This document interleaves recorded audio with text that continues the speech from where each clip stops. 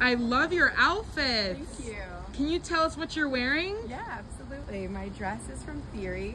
My shoes are from Chanel. This- Beautiful. Thank you. This bag is from The Row.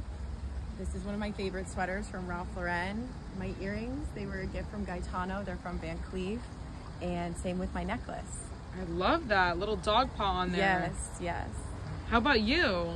Uh, shirt is from Theory, pants are from Ralph Lauren, and shoes are from Laura. I love it. And how about your watch?